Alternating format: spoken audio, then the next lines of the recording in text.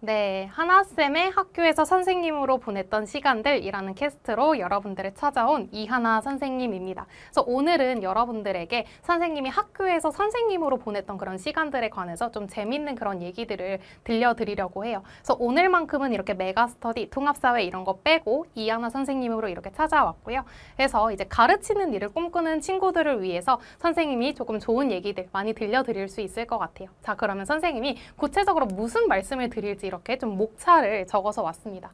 자, 원래 선생님이 대학 때 이렇게 사범대학을 나왔던 것은 맞아요. 근데 선생님이 사범대학을 갔다고 해서 사실 가르치는 일을 원래 꿈꾸지는 않았어. 여러분 선생님이 고등학교 때요. 이제 교대와 그 다음에 선생님의 지, 이제 지금 출신 대학으로 같이 합격을 했었습니다. 그래서 부모님은 그때 당시는 여러분 교대 입결이 굉장히 높았던 시기예요. 그래서 굉장히 이제 강력하게 교대를 갈 것을 권유를 받았으나 선생님은 어, 왠지 그 교대를 갔을 때 어, 여기가 내가 다닐 학교가 아닌 것 같다는 그런 느낌이 들었고 종합대학들 면접을 이렇게 보러 다니면 아 나는 조금 이렇게 넓은 곳에서 내가 더 다양한 공부를 해본 다음에 진로를 결정하고 싶다라고 하는 생각이 있었어요. 그래서 선생님의 진로 희망의 어떤 흐름에 대한 이야기도 드리려고 하고 그다음에 이제 학교에서 있었던 재밌는 일들. 그래서 선생님이 여러분들한테 이제 썰을 좀 잘 못 푸는 편이에요. 선생님 강의평 중에 이런 내용이 있었어요. 어, 수업 때 이제 딴 얘기 안 하고 이렇게 집약적으로 수업해서 좋다 라고 말씀을 하셨는데 딴 얘기를 안 하는 게 아니라 이제 아, 못 하는 게 안 하는 게 아니라 이제 못 하는 것이다 라고 생각을 하시면 돼요. 네, 하나쌤 특 썰잘 못품. 그래서 재밌는 얘기를 좀 잘 못하는 그런 이제 부분이 있지만 그래 선생님이 좀 최대한 노력을 해보고요. 그 다음에 두 번째는 학교에서 선생님에게 감동이었던 존재들 그 다음에 학교에서 보냈던 시간들이 이제 선생님에게 어떤 의미를 갖는지 마지막으로 선생님이 생각하는 가르치는 일을 한다는 것의 의미 그리고 마무리를 이렇게 좀 지어보도록 하겠습니다. 우선 원래 진로 희망에서 가르치는 일을 업으로 삼게 된 것은 그렇게 좀 특별한 계기가 있었던 것은 아니었던 것 같아요. 그러니까 선생님은 항상 뭔가 선생님이 생각하는 목표가 있으면 그 목표가 좀 거대하지 않더라도 아주 작은 목표라도 그 목표를 항상 좀 이렇게 꾹꾹 이렇게 다지면서 꼭 이뤄가면서 사는 삶을 살아왔어. 대학까지는 그게 됐어요. 선생님 좀 공부를 고등학교 2학년 때 시작했다라고 말씀을 드렸던 적이 있는데 그래서 그 이제 짧은 공부 기간에 비해서는 선생님이 목표했던 대학에 잘 안착을 했었고 그리고 선생님이 대학에 가는 것에 이렇게 성공을 했으니까 아 내가 원했던 진로 희망이 막 엄청 대단한 그런 직업이라고는 생각을 안 했어. 이, 이 정도는 내가 노력하면 할 수 있을 거야 라고 생각을 했던 거지. 근데 생각보다 선, 선생님한테 어떤 재능이나 아니면 그런 것들이 없었던 거야. 선생님한테 맞지 않았던 일인데 아, 내 인생에서 이것은 꼭 이뤄져야 되고 그래서 이게 안 이뤄지면 난 망할 거야 라고 하는 그런 어떤 도식이 있었는데 그 도식이 살면서 처음으로 깨진 거죠. 그러니까 살면서 대학 시기에 처음으로 이렇게 뭔가 실패를 해본 거야. 그러면서 결론이 이제 그거였어. 아 그럼 내가 이제 사범대를 이렇게 나왔고 내가 할 수 있는 일은 그래도 가르치는 일은 학교에서도 이렇게 뭐 성적이 나쁘지 않았으니 그러면 가르치는 일을 좀 이렇게 해야겠다라고 마음을 먹어서 20대 중반부터 그냥 바로 가르치는 일을 시작을 하게 됩니다. 이렇게 학교에서 시작을 하게 됐고 물론 대학생 때도 학원에서 학생들 가르친 적은 있지만 그래서 선생님이 처음에 가르치는 일을 할 때는 대단한 이제 어떤 교직에 대한 이제 희망 이런 것이 있어서는 아니었어요. 다만 선생님이 좀 이렇게 좋은 고등학교들에서 일을 하게 되었기 때문에 아 내가 가르치는 학생들한테 내가 경력이 짧다고 해서 경력이 거의 전무하다시피 이렇게 해, 해서 선생님이 그 학생들한테 뭔가 피해를 주거나 민폐를 끼치는 것은 절대 안 된다. 그 학교 수준에 그 학생들의 수준에 맞춰서 내가 정말 체계적으로 가르쳐야지 민폐를 끼치지 않는다. 이 생각만 가지고 있었어요. 그러니까 어떤 교직에 대한 희망과 꿈 이런 것보다는 책임감만 가득했던 거죠. 근데 생각보다 선생님이 이렇게 학생들과 생활을 하면서 선생님이 되게 뭔가 어, 사랑받는다는 것을 느꼈어. 이거 선생님 실제로 학교에서 근무했을 때 학생들이 이렇게 찍어준 사진인데요. 지금 보시면 이게 시험 끝난 날이야. 선생님 코로나 시기 때 이렇게 교직에서 일을 했거든요. 선생님 진도 말고 놀아요. 이렇게 학생들은 항상 놀기를 강구합니다. 설마 진도를? 에이 설마. 그래서 선생님이 응 진도 나가, 응 아니야 이렇게 해서 해준 거고요. 그다음에 여긴 전 선생님이 써준 건데 서답형 20점, 그러니까 서술형을 이래 확인을 하잖아요. 시험이 끝나면 중간 기말이 끝나면. 근데 이제 밑에 있는 그림이 여러분들은 잘 안 보일 텐데 이제 이런 그림이야. 이렇게 있으면서 선생님 똑같이 그려줄게요. 이렇게 있으면서 이렇게 있어. 그래서 네, 토, 아니 토끼네. 약간 여기 토끼가 있으면서 위에 난 내가 좋아 이렇게 써 있는 그런 되게 귀여운 그림입니다. 선생님이 그래서 이 고등학생을 딱 처음 봤을 때는 애들이 생각보다 학생인데 너무 거대한 거대한 거예요. 그래서 어른들이 이렇게 앉아 있는 느낌이었는데 생각보다 이 학생들이 하는 행동은 완전 애기인 거예요. 막 이제 선생님보다 키 큰 애들도 이렇게 되게 많았단 말이야. 이렇게 와가지고 선생님 선물이에요. 그거 뭐를 주냐면 더도 덜도 말고 딱 사탕 한 개만 이렇게 주는 거야. 왜 두 개를 줄 수도 있고 세 개를 줄 수도 있는데 딱 이렇게 한 개만 주고 막 되게 소중하게 놓고 가는 거예요. 선생님이 교직 생활을 시작했을 때 아이패드를 처음으로 이렇게 구매를 했는데 태블릿 PC를 근데 그 태블릿 PC에 막 선생님 좋아요 이러고 낙서하고 가고 그러니까 생각보다 학생들이 되게 사랑스러웠던 거죠. 그리고 그 학생들이 그 몇 년에 걸친 기간 동안 선생님을 되게 이렇게 사랑해 준다는 느낌을 되게 받았습니다. 그래서 그때부터 선생님이 서서히 시간에 걸쳐서 아 가르친다는 일이 이렇게 좋은 일이구나 되게 재밌고 가치 있는 일이구나 라고 하는 것을 느꼈던 것 같아요. 그리고 이것도 학교에서 있었던 이제 그런 사진인데요. 여러분 이게 이제 코로나 때 우리가 다 마스크를 써야 되잖아. 우리가 오징어 게임이 유행했던 연도였어. 선생님이 이때 체육대회 담당이었는데 학생들이랑 이렇게 이제 이, 이 학생들은 관리자 역할을 했어요. 그러니까 체육대회 진행자 역할을 했던 거죠. 오징어 게임 진행자처럼. 그래서 이 학생들의 의복을 이렇게 맞추자라고 선생님이 이렇게 좀 아이디어를 내서 학생들이 다 이렇게 동그라미 이렇게 병정들이 된 그런 모습을 선생님이 이렇게 사진으로 가져왔습니다. 되게 선생님이 좋아하는 사진이고 뭔가 이날의 즐거웠던 기억이 아직도 이렇게 남아있는 것 같아요. 그래서 어쨌든 선생님은 그래서 그냥 흘러가는 듯이 살다 보니까 이렇게 가르치는 일을 하게 된 것 같아요. 그래서 이어서 보시면 또 학교에서 있었던 재밌는 일들이 되게 많지만 여러분들 꼭 고려해 주세요. 오늘 꼭 고려할 거 강조. 하나쌤 특썰잘 못 푼다. 재미없어도 재밌게 들어주시기 바랍니다.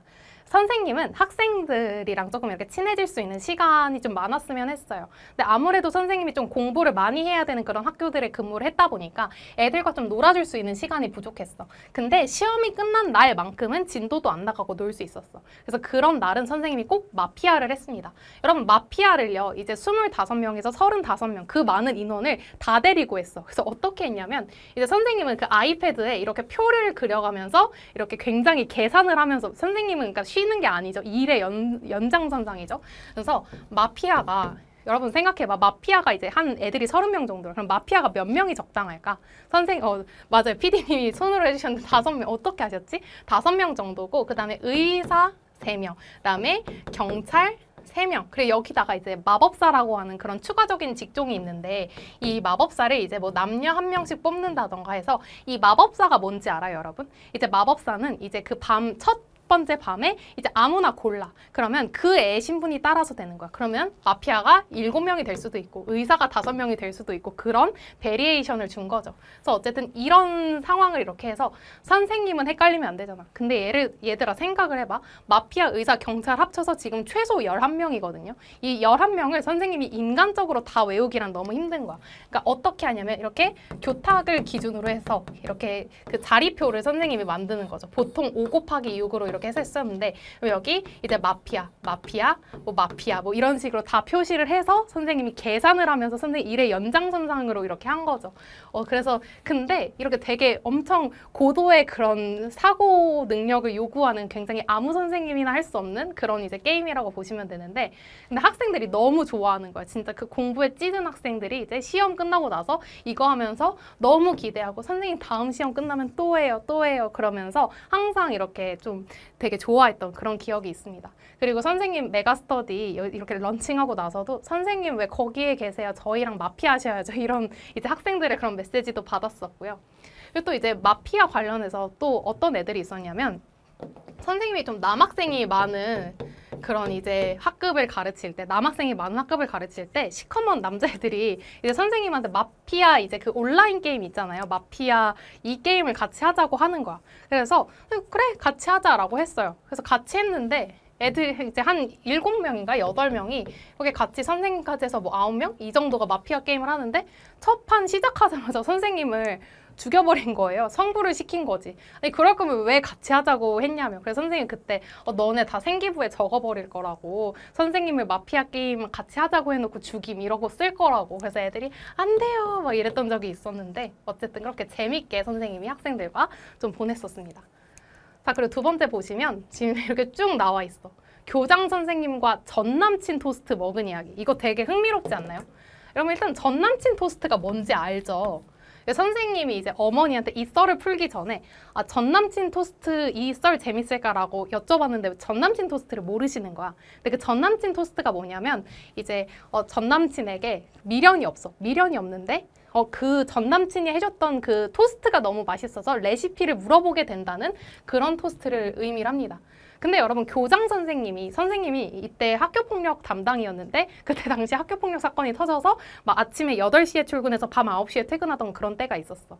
그래서 막 야근을 막 이렇게 해야 되는 시기가 있었는데 막 이렇게 인상 쓰면서 일하고 있었는데 교장 선생님이 갑자기 이렇게 선생님 있는 곳으로 달려오시면서 아니 이게 지금 전 남친 토스트가 지금 급식 메뉴에 이렇게 있는데 이게 뭐 오타가 난 거 아니냐 이런 식으로 지금 선생님한테 막 달려오신 거예요. 근데 이제 야근을 하는 분들 은 보통 나이가 많은 분들이죠. 부장 선생님, 교장 선생님 이런 분들이니까 그래서 아무도 그 답을 모르는데 선생님 혼자 해결의 실마리를 가지고 있었던 거죠. 선생님이 이제 선생님답게 설명을 일목요연하게 잘 해드렸어. 아, 전남친 토스트라는 것은 무슨 재료가 들어간 것으로서 이제 미련이 없는 전남친에게도 이렇게 마성에 연락을 해, 하게 된다는 그런 마성의 토스트다 이렇게 말씀을 드렸는데 그 교장 선생님이 이제 반응이 좀 이러 막 많으신 분이야. 그래서 아 진짜 그런 토스트가 있냐 그런 토스트가 우리 석식에 나오더니 이거 당장 가서 먹어봐야겠다라고 하시면서 부장 선생님이랑 같이 이렇게 전남친 토스트를 드시고 오신 거예요. 근데 선생님이 약간 생각했어. 여러분 급식 quality가 사실 아무리 사제 음식에 비해서 그렇게 좋을 리가 없잖아요.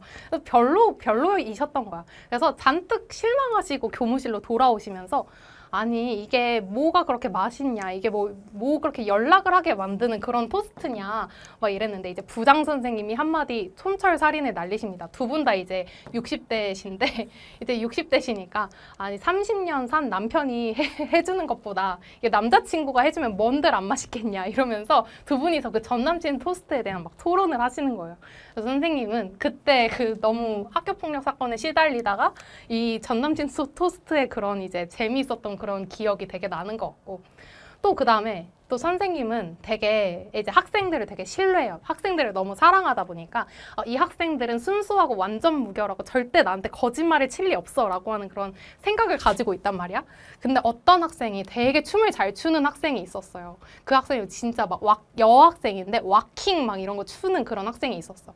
근데 그 학생이 이제 선생님한테 통합사의 질문을 되게 많이 했어. 선생님은 그 오, 오픈 채팅방을 통해서 학생들의 질문을 24시간으로 받아줬거든요. 그래서 그 학생이 학생에게 질문 답변을 많이 해주니까 그 학생이 이런 거예요. 아 선생님 제가 너무 감사해서 통합사회 시험을 물구나무 서서 보겠다고. 근데 선생님 그게 당연히 거짓말이지 말이 안 되잖아. 시험을 어떻게 물구나무 서서 봐. 그래서 어 그래. 물구나무 서서 보렴. 이러고 이제 시험을 봤어 그래서 그 반에 이제 처음 이제 서술형 답변 확인하려고 들어갔는데 이제 그 학생한테 선생님이 그래서 웃으면서 실실 웃으면서 거짓말인 거 아니까 물어봤어요. 너 진짜 그래서 통합사에 물구나무 서서 봤어? 이렇게 물어봤더니 그 학생이 갑자기 정색하고 네, 저 진짜 물구나무 서서 시험 봤어요. 이러는 거예요. 선생님 아, 뭐야 거짓말 치지 마 이러다가 근데 그 학생이 진짜 너무 진지하게 저 진짜 봤어요. 저 그때 감독이 국어 무슨 쌤이었는데 한, 한번 확인해 보시라고 그래서 선생님 약간 그 학생이 너무 진지하니까 당황을 한 거죠. 그래서 이렇게 그 학생이 이렇게 자기 친구들 무리가 있었고 그 다른 무리가 있었어. 근데 여러분 시험 끝난 날은 알잖아. 다 되게 정신없고 엄청 떠드는 거. 그래서 선생님이 얘네 무리를 떠나서 얘네 무리한테 가서 물어봤어. 얘들아 진짜 누구 얘 진짜 물구나무 서서 시험 봤냐고 그랬더니 애들이 네 진짜 시험 물구나무 서서 봤다고 진짜 그러는 거예요. 근데 이게 조용한 환경에서 그랬다면 이 말을 듣고 그랬을 수 있지만 다 떠드는 환경이었는데 모든 무리에 가서 물어봐도 진짜 걔가 물구나무 서서 시험을 봤다는 거예요. 선생님이 그래서 그 말을 믿은 거야. 왜냐면 이 반을 선생님이 진짜 예뻐했거든요. 그리고 사, 착하고 성실하고 공부 잘하는 애들이 엄청 많았어. 그래서 어, 진, 아 춤을 잘 춰서 역시 이제 물구나무를 서서도 이제 시험이 볼 수 있는 그런 이제 어떤 코어가 좋나 보다. 이렇게 좀 생각을 하고 이제 넘어갔어요. 그게 7월의 일인데 이제 이때 코로나가 너무 심해가지고 이제 온라인으로 이제 방과후를 하던 시기가 있었어. 이제 줌으로 방과후를 했었는데 그때 이제 선생님이 8월 한 말쯤 됐어. 그러니까 한 달 반을 선생님은 속고 있었던 거죠.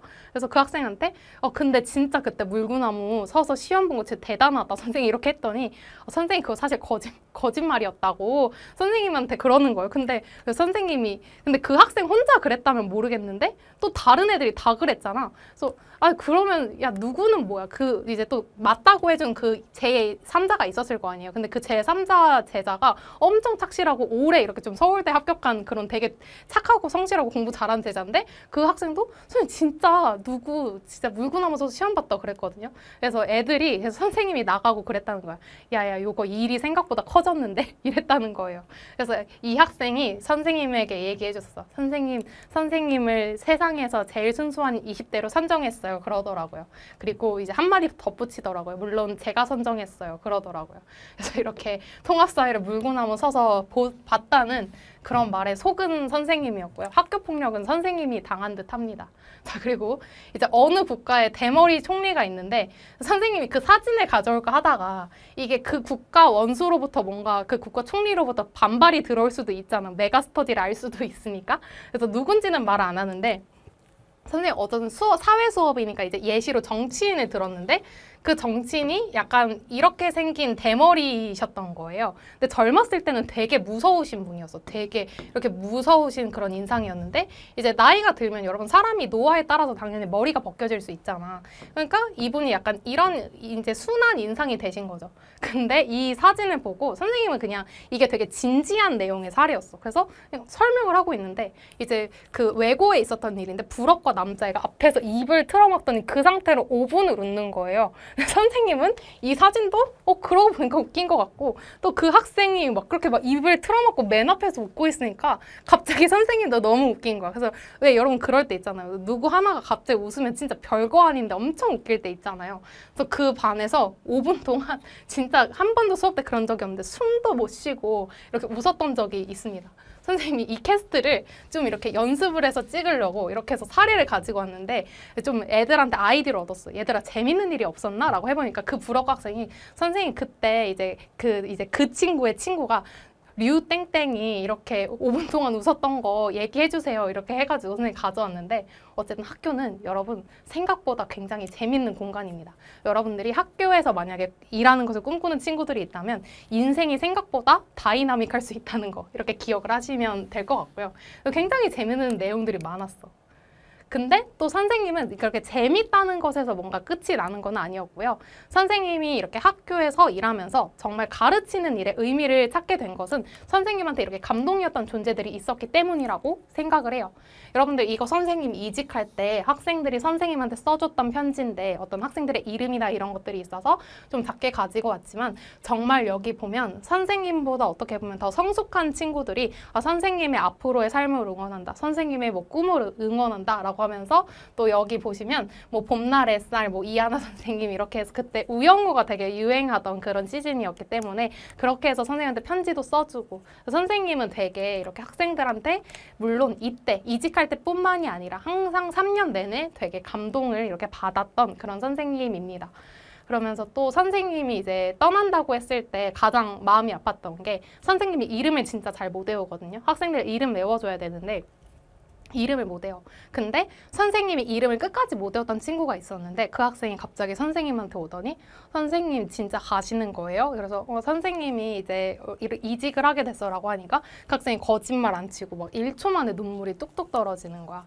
선생님이 다른 학생들도 많이 울었는데 그 학생이 뭔가 이렇게 우니까 선생님이 너무 너무 미안한 거야. 그래서 그때 선생님도 되게 많이 좀 울컥해서 같이 좀 울었던 그런 기억들이 있고 또 학교에서 학생이라는 존재도 되게 감 감동이지만 여러분들 이제 여기 이제 이직할 때 선생님이 이직을 이렇게 갓 했을 때 이렇게 했을 때 이제 교감 선생님이 이렇게 선생님한테 카톡으로 보내주셨습니다. 잘 지내고 계시죠? 좋은 인연 소중히 간직하겠습니다. 선생님의 꿈을 응원합니다. 화팅 이렇게 보내주신 거예요. 여러분 사실 이게 이직을 하는 거면 선생님이 학교를 떠나고 빈자리가 생기는 것이기 때문에 학교에 있어서만큼은 그렇게 사실 이제 좀 도움이 되어드리지 못하는 일이었을 텐데도 그냥 선생님을 이 교감 선생님 선생님께서 정말 딸처럼 대해주셨거든요. 선생님이 이제 집과 이렇게 가까이 학교가 있었는데 그 출퇴근길을 잘 몰라서 지름길이 있었는데 그래서 삥 돌아서 다니니까 어떻게 동네에 살면서 그런 길도 모르냐고 하시면서 선생님 퇴근길까지 이렇게 직접 동행해서 길도 알려주시고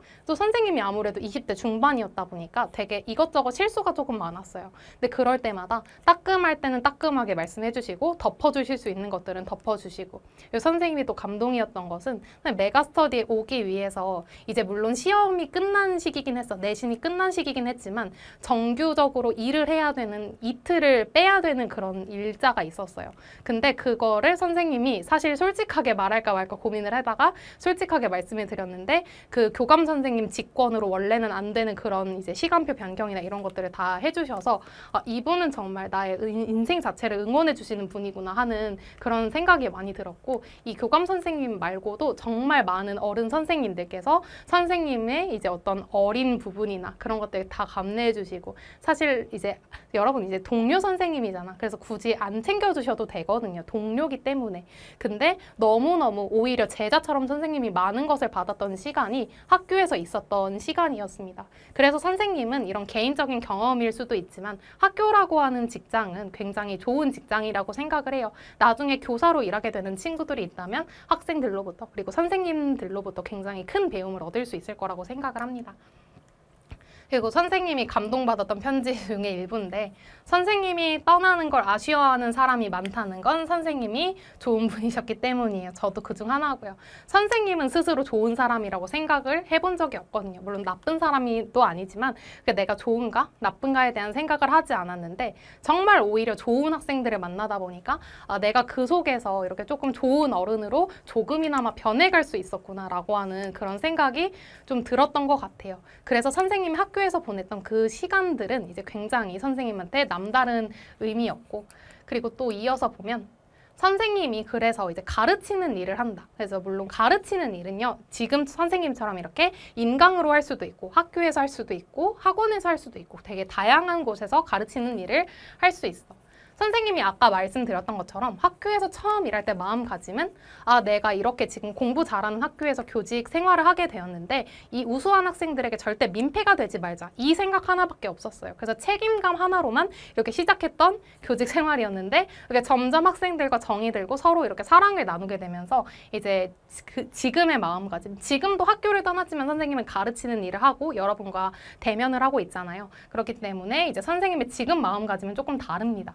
이게 선생님이 이제 떠날 때 이것도 학생이 이제 직접 엽서에 써줬던 건데 3월 22일이 선생님의 생일인데 그 생일의 꽃말이 당아옥이라고 해요. 근데 그 당아옥의 꽃말이 이렇다고 합니다.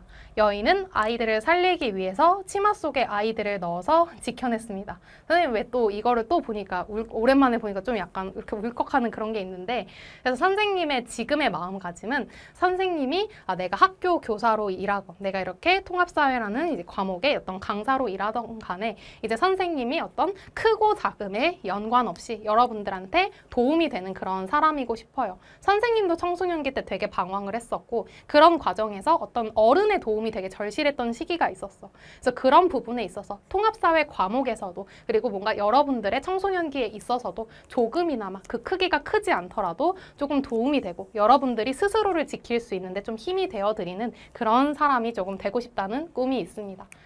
자, 그래서 결론적으로 말씀을 드리면 가르치는 일을 한다는 것의 의미는 여러분들 굉장히 귀중한 거예요. 굉장히 귀중한 것인데 우리가 23년도에 굉장히 많은 교육 관련 이슈들이 있었죠. 교권 침해 관련 이슈들이 있었는데 이 사회가 여러분들 가르치는 일은 선생님은 다음 세대를 이어나가는 일이라고 생각을 하는 관점에서 선생님의 일이어서가 아니라 정말 중요한 일이라고 생각을 해요. 근데 그 가치를 폄하하는 사람들이 잘못된 것이지 그 교사나 혹은 가르치는 사람들을 함부로 대하는 그런 사람들이 잘못된 것이지 가르치는 일을 꿈꾸는 여러분들이 있다면 그것을 꿈꾸는 게 잘못은 아니라고 생각을 합니다. 그래서 그런 부분에 있어서 사회가 어느 정도 조금 변화해야 되는 측면은 있을 수가 있겠죠.